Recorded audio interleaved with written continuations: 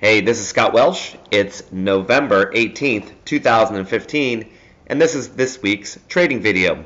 Wanted to do a video this week because I thought it would, might be a little bit easier to explain this concept that I've been uh, rolling around in my head for the past several weeks, and that is the day trading carry trade.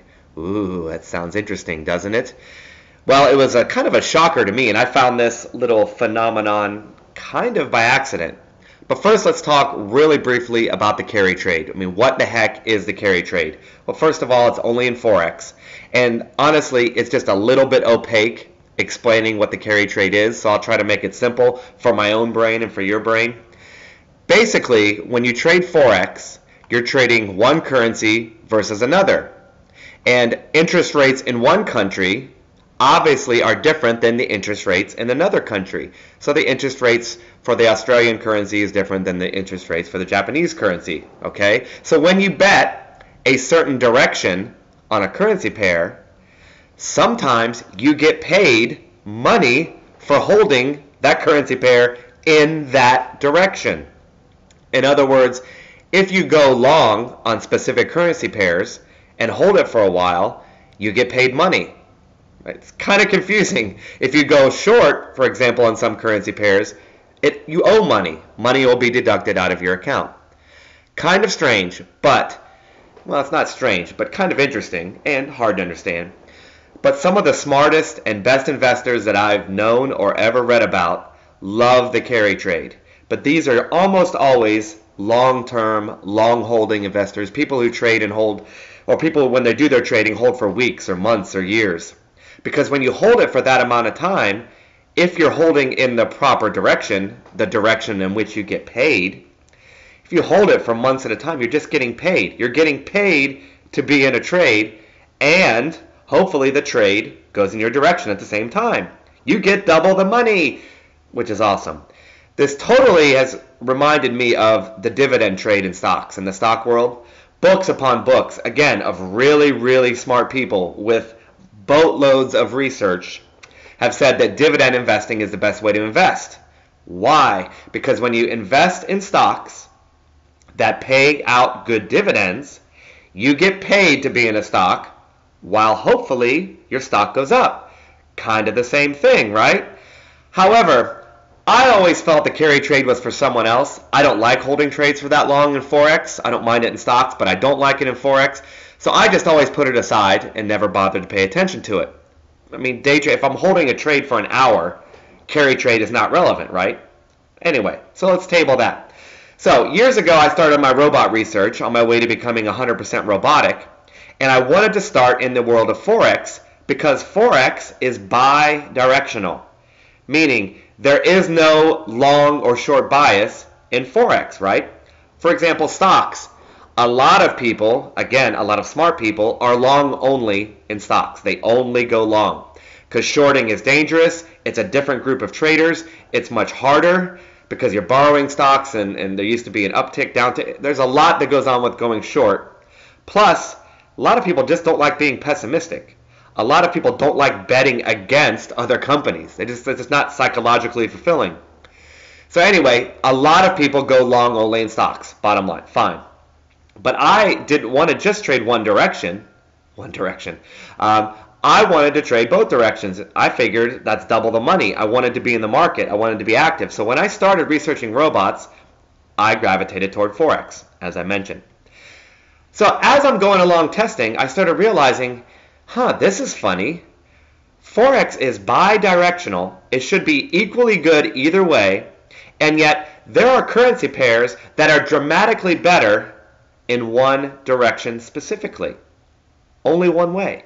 And I thought, that's really, really weird. And initially, and I've talked about it before, I think, initially I thought, well, bottom line is this. It's a second bottom line. The, the second bottom line is this that maybe it's one group of traders just like going long and a totally other group of traders like going short. I mean, we know that there are different traders on each side of the market. It's a different set of analysis and so forth. And I thought, well, isn't that just quaint? It just happens to work on this particular set of traders. Then, though, I've heard major hedge fund managers, or CTAs, whatever you want to call them, talk about they go long only when they're trading currencies just because they like their charts all to go one way, which is totally baffled me. They just like trading upward. They like seeing their trades all go one way. He said it, not me. I thought that was fascinating.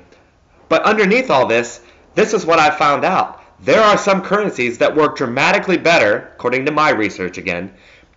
According to my research, they work dramatically better just going one direction. Interesting. And then, recently, in the past several weeks, a couple months actually, I started researching and I noticed something.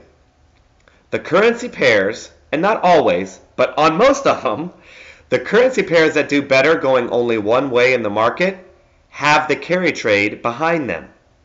Meaning what? Meaning that the carry trade was positive in certain directions, and yet the trading systems, the robot testing, work better in that direction.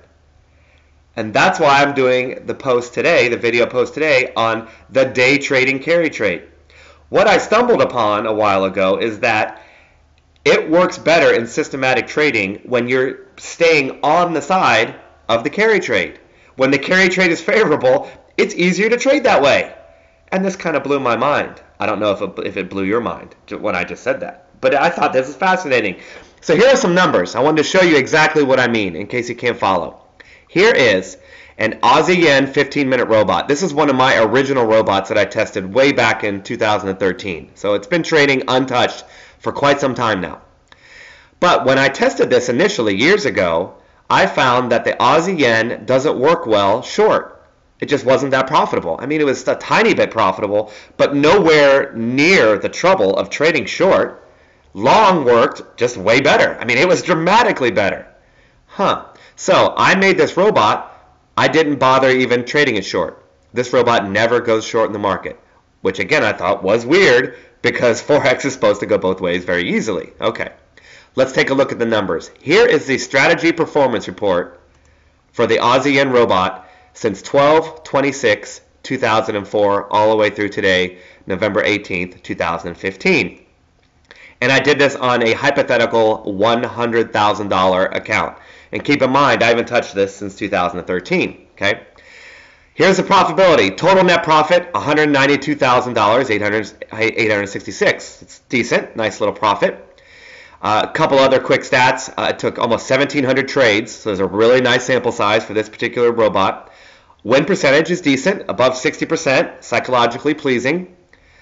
The average trade winning is a little bit less than, not a little bit less, it's less than the average losing trade, but that's what the price you pay for having a nice win percentage. I love this little stat. It's won 18 in a row with only four consecutive losers over that time. And of course, this is uh, almost 11 years of data. Um, max drawdown is about 30%. Typically, an investor can see about 30% drawdown. So that's why I use this particular number and this particular hypothetical account size. If you can take a bigger drawdown, you could trade this on an even smaller account and do even better. All right, but that's so that's a little background. All right, so if we take this profit and add it to our original $100,000 hypothetical, it comes out to this. An average, an annual average return rate of 10.5% per year. And all I did was took my little financial calculator, I plugged in 100,000 for my beginning value, and then I added 192,000 to my 100,000. So that's 292,866 at the end. So 100,000 at the beginning, then almost 300,000 at the end. I plugged in how many years it traded, and I said, what's the average annual return? And my calculator spit this out 10.5% per year with no carry. All right. That's not bad. Now, this is just one robot, right? I would recommend trading a whole portfolio of robots, and I've written about that extensively. But let's just say you just wanted one robot, you wanted to keep it simple. Okay, 10.5% per year, not bad. I mean, every year, 10.5%, that would make you a pretty darn good trader, right? To make that number. You're not setting the world on fire, but that's pretty solid. And it's only a 30% drawdown. So you'd have to risk a 30% drawdown at some point to make 10.5% a year. Very reasonable, right? At least it's reasonable to me. But here's what I want to show you and the point of today's video. Roll over credit. $28,860. What that means is that while I was taking these trades, and these trades were day trades, right? They're over in a day practically. Sometimes they're over in minutes, within a half hour. Over this time, I would have gotten paid $28,860 because I only went long. This would have been just naturally added to my account. This is not included in the net profit, by the way.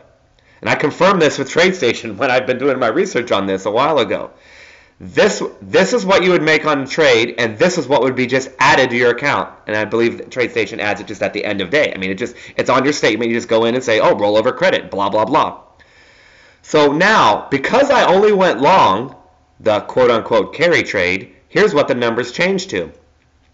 I would have made an extra $28,860 just by trading this robot in one direction. It's pretty amazing, right? I mean, that's nothing to sneeze at. What does that do to my overall account size and return? Well, that now changes the return. If I added or started with 100,000, then took my $192,000 profit, added the 28,000 of rollover credit I get for going in the right direction, quote unquote right direction. Now my return turns into 11.4%. And on a big account, if you're trading a big account, that's nothing to bat your eyes at sideways. I mean, that is something that you you really need to respect. At least it's respectable to me. I don't know how you feel. It's 28, almost $29,000 just by trading in one direction. Now, I could have traded a short and made a little bit of money, but I would have had a rollover credit that was negative. So at the end of each day, over years, over time, a certain amount would have been credited out of my account.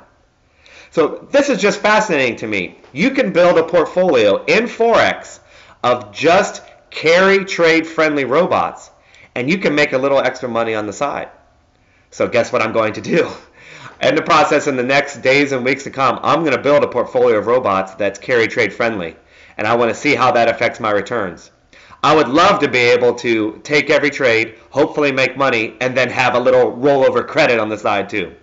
So that's a day trading carry trade. Fascinating you are a day if you are a day trader, you can make money too on the carry trade, and that's something that maybe you weren't aware of.